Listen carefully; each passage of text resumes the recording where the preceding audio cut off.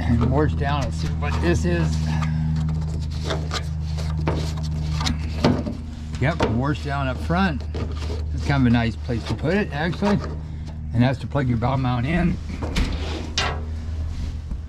Fish box.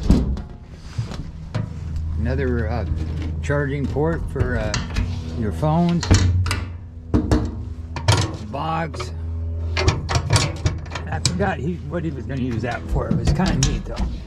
There's a battery, 36 volt system. There's a battery charger. There's a relay.